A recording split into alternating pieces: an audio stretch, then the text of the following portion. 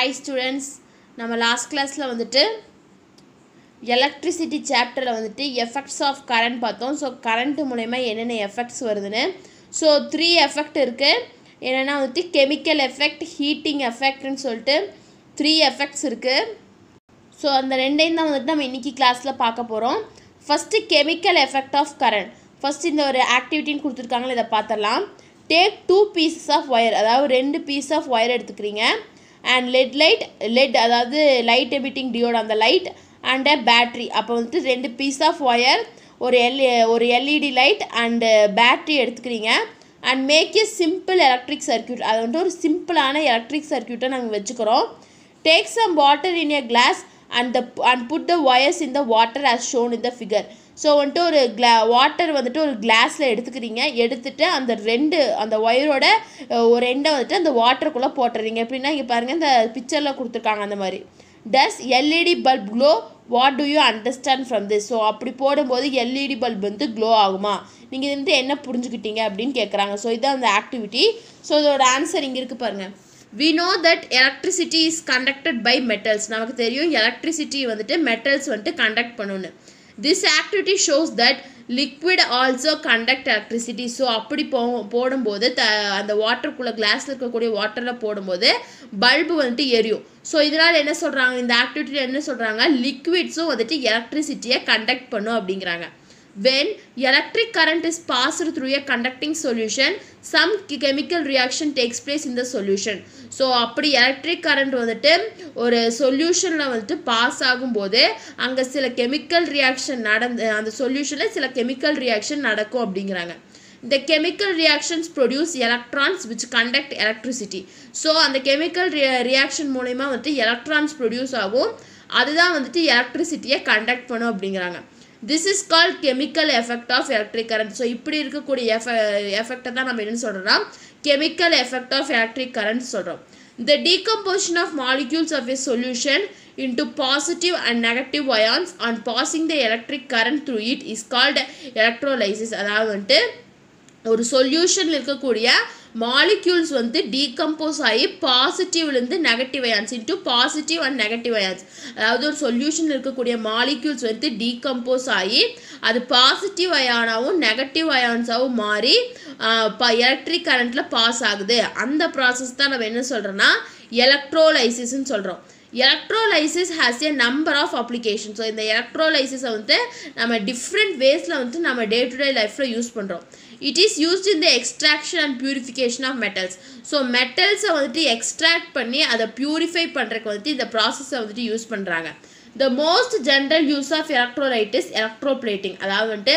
இதை ஜென்ரலாக இந்த மெத்தடை வந்து எங்கே யூஸ் பண்ணுவாங்கன்னா எலக்ட்ரோப்ளேட்டிங் மெத்தடில் வந்துட்டு யூஸ் பண்ணுவாங்க. ஸோ நெக்ஸ்ட் அதான் அதான் பார்க்க போகிறோம் ஸோ இதுலேருந்து என்ன தெரியுது? ஃபஸ்ட்டு நம்ம கெமிக்கல் எஃபெக்ட் ஆஃப் கரண்ட் என்ன பார்த்தோம்? அதாவது மெட்டல்ஸ் நமக்கு தெரியும். மெட்டல்ஸ் வந்துட்டு எலக்ட்ரிசிட்டியை கண்டக்ட் பண்ணணும். ஆனால் வந்துட்டு சொல்யூஷன்ஸும் வந்துட்டு எலக்ட்ரிக் கரண்ட்டை கண்டக்ட் பண்ணும். ஸோ அப்படி எப்படி அந்த க சொல்யூஷன் வந்துட்டு எலக்ட்ரிக் கரண்ட்டை கண்டக்ட் பண்ணுன்னா சப்போஸ் இப்போ வந்துட்டு ஒரு எலக்ட்ரிக் கரண்ட் வந்துட்டு ஒரு சொல்யூஷன் வழியாக கண் பாஸ் ஆகி போகும்போது அங்கே சில கெமிக்கல் ரியாக்ஷன் நடக்கும் அந்த சொல்யூஷனில் ஸோ அந்த கெமிக்கல் ரியாக்ஷன்ஸ் மூலயமா எலக்ட்ரான்ஸ் ப்ரொடியூஸ் ஆகி எலக்ட்ரிசிட்டியை கண்டக்ட் பண்ணும். ஸோ அதைத்தான் நம்ம வந்துட்டு கெமிக்கல் எஃபெக்ட் ஆஃப் கரண்ட்னு சொல்கிறோம் ஸோ ஒரு சொல்யூஷனில் இருக்கக்கூடிய மாலிக்யூல்ஸ் வந்து டீகம்போஸ் ஆகி பாசிட்டிவ் அண்ட் நெகட்டிவ் அயான்ஸாக மாறி எலக்ட்ரிக் கரண்ட்டில் வந்துட்டு பாஸ் ஆகும்போது அந்த ப்ராசஸ் தான் நம்ம வந்துட்டு எலக்ட்ரோலைசிஸ் அப்படின்னு சொல்கிறோம் ஸோ எலக்ட்ரோலைசிஸ் வந்துட்டு நிறைய டிஃப்ரெண்ட் வேஸில் வந்துட்டு யூஸ் ஆகுது. முக்கியமாக இது ஃபஸ்ட்டு எங்கே யூஸ் ஆகுதுன்னா extraction and purification of metals metals எக்ஸ்ட்ராக்ஷனுக்கும் பியூரிஃபிகேஷனுக்கும் யூஸ் ஆகுது. நெக்ஸ்ட் இது மோஸ்ட் ஜென்ரலாக எங்கே யூஸ் ஆகுதுன்னா எலக்ட்ரோ பிளேட்டிங்கில் வந்து யூஸ் ஆகுது. ஸோ ஃபஸ்ட்டு எலக்ட்ரோ பிளேட்டிங் பாருங்கள் ஃபஸ்ட்டு இந்த ஆக்டிவிட்டி பார்க்கலாம்.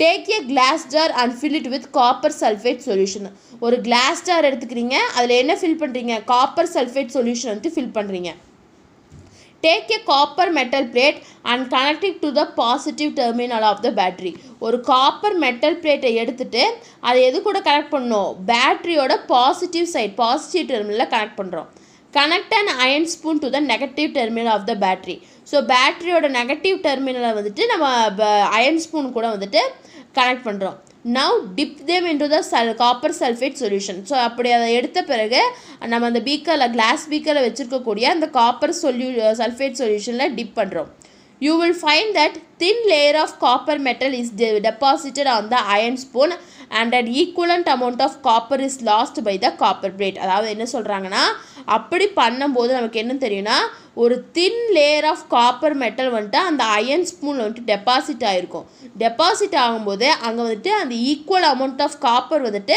லாஸ்ட் ஆகிருக்கும் அந்த எலக்ட்ரோ பிளேட்டில் அப்படின்னு சொல்கிறாங்க ஸோ இதான் வந்து அந்த எக்ஸ்பிரிமெண்ட் ஸோ மேலே பாருங்கள் electroplating is one of the most common application of chemical effects of the electric current so electric currentோட ஒரு most common application என்ன chemical effect ஓடதுன்னா electroplating தான் the process of depositing a layer of one metal over the surface of another metal by passing electric current is called electroplating. அதாவது வந்துட்டு process of depositing ஒரு layer of metal வந்துட்டு அதாவது ஒரு layer வந்துட்டு deposit ஆகுது. அதாவது ஒரு மெட்டல் இருந்து இன்னொரு மெட்டலோட சர்ஃபேஸில் வந்துட்டு டெபாசிட் ஆகுது. பா அப்படி டெபாசிட் ஆகும்போது அங்கே வந்துட்டு எலக்ட்ரிக் கரண்ட் பாஸ் ஆகுது. ஸோ அதைத்தான் நம்ம என்ன சொல்கிறோன்னா எலக்ட்ரோப்ளேட்டிங் சொல்கிறோம் electroplating is applied in many way many fields so இந்த எலக்ட்ரோப்ளேட்டிங் வந்துட்டு மெனி ஃபீல்ட்ஸில் வந்துட்டு அப்ளை ஆகுது. We use iron in bridges and automobiles to provide strength அதாவது வந்துட்டு நம்ம அயன் ராட்ஸ் வந்துட்டு பிரிட்ஜஸ்லேயும் ஆட்டோமொபைல்ஸ்லையும் யூஸ் பண்ணுறோம் எதுக்காக? அந்த ஸ்ட்ரென்த்துக்காக however iron tends to corrode and rust so அப்படி யூஸ் பண்ணும்போது அயன் வந்துட்டு துருப்பிடிக்க ஆரம்பிக்குது. So a coating of zinc is deposited on iron to protect it from the corrosion and the formation of rust so அதனால என்ன பண்ணுவாங்கன்னா அந்த iron rod மேலே ஜிங்க் கோட்டிங் பண்ணுவாங்க. எதுக்காகனா அந்த அயன் வந்துட்டு ரெஸ்ட் ஆகாமல் இருக்க அதாவது துருப்பிடிக்காமல் இருக்கிறதுக்காக. Chromium has a shiny appearance it does not corrode அதாவது குரோமியத்துக்கு வந்துட்டு ஒரு ஷைனியான ஒரு அப்பியரன்ஸ் இருக்குது அதனால வந்துட்டு அது கொரோட் ஆகாது. இட் ரெசிஸ்ட் ஸ்க்ராச்சஸ் ஸோ அதில் வந்துட்டு ஸ்க்ராச்சஸ் வந்து அது ரெசிஸ்ட் பண்ணும்.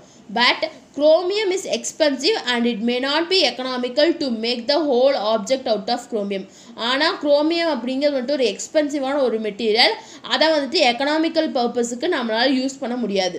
So the object such as car parts bath taps kitchen gas burners bicycle handle bars wheel rims are made from a cheaper metal and only a coating of chromium is deposited over it so என்ன பண்ணுவாங்கன்னா இந்த car parts இல்லாட்டி நம்ம பாத்ரூமில் இருக்கக்கூடிய tabs கிச்சனில் இருக்கக்கூடிய burners நம்மளோட பைசைக்கிள் அதாவது சைக்கிளோட ஹேண்டில் பாக்ஸ் ஸோ இது எல்லாமே வந்துட்டு எதனால் ஆயிருக்குன்னா சீப்பர் மெட்டல்னால் ஆகி அதில் வந்துட்டு குரோமியத்தை வந்து கோட்டி கோட் பண்ணியிருப்பாங்க அதான் சொல்கிறாங்க ஸோ இதான் வந்துட்டு எலக்ட்ரோ பிளேட்டிங் அப்படின்னு சொல்கிறாங்க நெக்ஸ்ட் வந்துட்டு ஹீட்டிங் எஃபெக்ட் ஆஃப் கரண்ட் கரண்ட்டில் நெக்ஸ்ட் எஃபெக்ட் தான் வந்துட்டு ஹீட்டிங் அதை பார்க்க போகிறோம் ஸோ ஃபஸ்ட்டு ஆக்டிவிட்டி பாருங்கள் take a battery a bulb a ஸ்விட்ச் and a few connecting wires அதாவது பேட்ரி எடுத்துக்கிறோம் பல்ப் எடுத்துக்கிறோம் ஸ்விட்ச் எடுத்துக்கிறோம் அதே மாதிரி கனெக்டிங் ஒயர்ஸ் எடுத்துக்கிறோம்.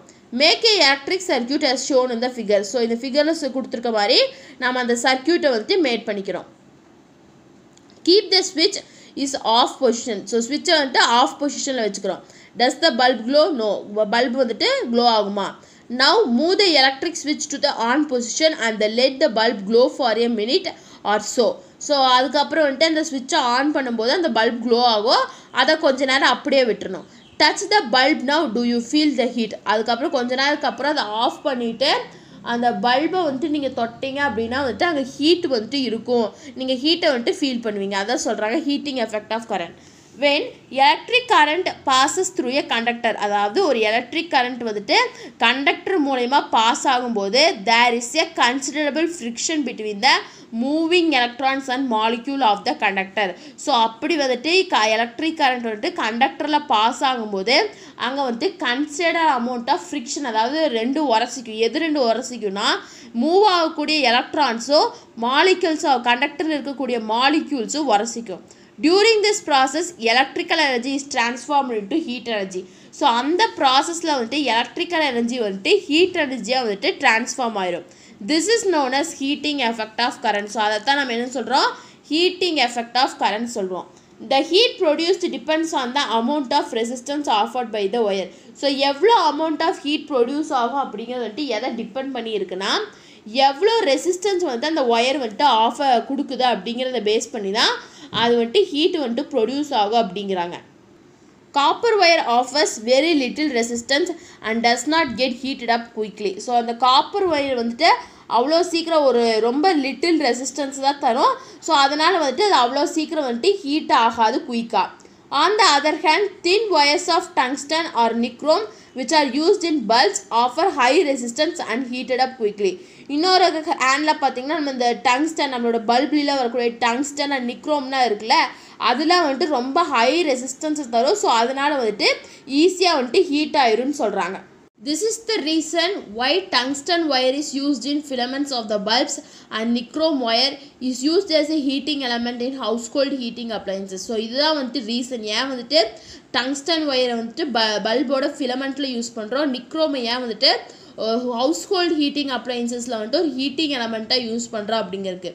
Heating effect of electric current can be can be seen in many devices அதாவது வந்துட்டு அந்த ஹீட்டிங் ஒரு எலக்ட்ரிக் கரண்ட்டோட ஹீட்டிங் எஃபெக்டை வந்துட்டு நம்ம மெனி டிவைசஸில் பார்க்க முடியும்.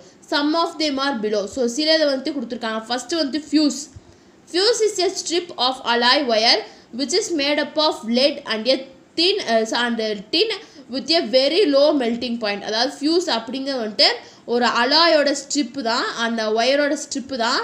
அது எதனால் ஆயிருக்கும்னா லெட்டுனாலையும் டின்னுனாலே ஆயிருக்கும். ஸோ அதோட மெல்டிங் பாயிண்ட் வந்துட்டு ரொம்பவே லோவாக இருக்கும். This can be connected to the circuit இதைத்தான் வந்துட்டு ஒரு சர்க்கியூட்டில் நம்ம கனெக்ட் பண்ணுறோம் the fuse is usually design to take specific amount of current அதான் வந்துட்டு இந்த ஃபியூஸை வந்துட்டு எதுக்கு யூஸ்வலாக டிசைன் பண்ணியிருப்பாங்க அப்படின்னா ஒரு ஸ்பெசிஃபிக் அமௌண்ட் ஆஃப் கரண்ட்டை வந்துட்டு எடுக்கிறதுக்காக தான் இது பண்ணியிருப்பாங்க when current passing through the wire exceeds the maximum limit அதாவது வந்துட்டு அப்படி ஒரு கரண்ட் வந்துட்டு பாஸ் ஆக ஒயரில் பாஸ் ஆகும்போது அதோட மேக்ஸிமம் லிமிட்டை தாண்டிடுச்சு அப்படின்னா இட் கெட்ஸ் ஹீட்டட் அப் அதாவது அப்படி மேக்ஸிமம் லிமிட்டை தாண்டின போது இந்த ஃபியூஸ் வந்துட்டு ஹீட் ஆயிரும். Due to low melting point it melts quickly so இதுக்கு வந்துட்டு லோ மெல்டிங் பாயிண்ட் இருக்கனால இது ஈஸியாக வந்துட்டு மெல்ட் மெல்ட் ஆயிருங்கிறாங்க.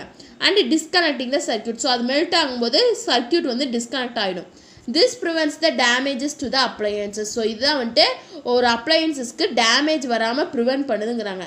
ஸோ ஃபியூஸ்னு பார்க்கும்போது இது வந்துட்டு ஒரு அலாயோட ஸ்ட்ரிப் அலா ஒயரோட ஸ்ட்ரிப் தான்.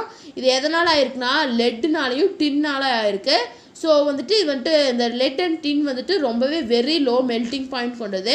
இதை வந்துட்டு சர்க்கியூட்டில் கனெக்ட் பண்ணுறாங்க அந்த ஃபியூ அந்த ஃபியூஸ் வந்து எதுக்கு யூஸ்வலாக டிசைன் டிசைன் பண்ணியிருக்காங்க அப்படின்னா ஒரு ஸ்பெசிஃபிக் அமௌண்ட் ஆஃப் கரண்ட் எடுக்கிறதுக்கு வேண்டி டிசைன் பண்ணியிருக்காங்க ஒரு கரண்ட் வந்துட்டு ஒரு எலக்ட்ரிக்கல் ஒயரில் வந்துட்டு பாஸ் ஆகும்போது சப்போஸ் அது வந்துட்டு எக்ஸிட் மேக்ஸிமம் லிமிட்டை தாண்டி போயிடுச்சு அப்படின்னா இது வந்துட்டு ஹீட் ஆகி இந்த ஃபியூஸ் ஒயர் ஹீட் ஆயிரும். ஸோ ஹீட் ஆகும்போது அங்கே லோ மெல்டிங் பாயிண்ட்டில் இருக்கும்போது இது வந்துட்டு குயிக்காக மெல்ட் ஆகி அந்த க சர்க்கியூட்டை வந்துட்டு டிஸ்கனெக்ட் பண்ணும்.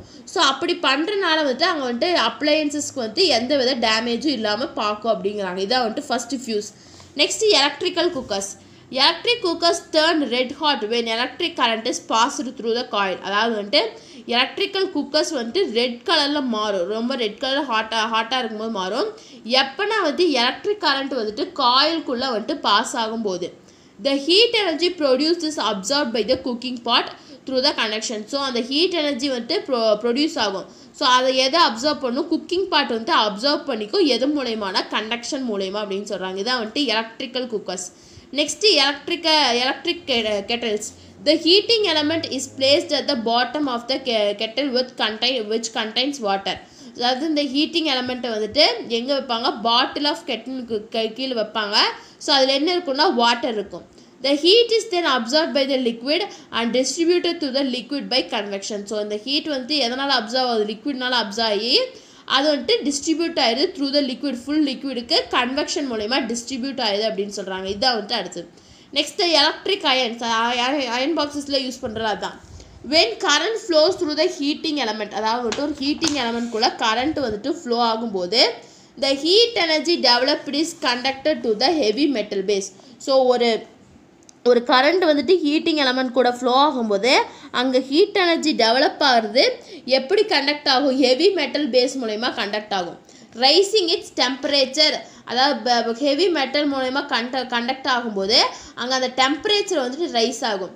This energy is then use to press cloth so இந்த எனர்ஜி யூஸ் பண்ணி தான் நம்ம கிளாத்தையெல்லாம் ப்ரெஸ் பண்ணி அயன் பண்ணுறோம் அப்படின்னு சொல்லியிருக்காங்க. இதான் வந்துட்டு எலக்ட்ரிக் அயன்ஸ் ஸோ இதோட வந்துட்டு இந்த சாப்டர் முடியுது. ஸோ இன்றைக்கி கிளாஸில் நம்ம என்ன பார்த்துருக்கோம்னா effect of current chemical heating effect and chemical chemical effect of current பார்த்தோம். ஸோ இதோட இந்த சாப்டர் முடியுது. உங்களுக்கு ஏதாச்சும் டவுட் இருந்தால் கமெண்ட் பண்ணுங்கள் இந்த வீடியோ கிளாஸ் பிடிச்சிருந்தா லைக் பண்ணுங்கள் ஷேர் பண்ணுங்கள் சப்ஸ்கிரைப் பண்ணுங்கள் நாளைக்கு உங்களோட புது லெசனை நான் பார்க்குறேன். Okay thank you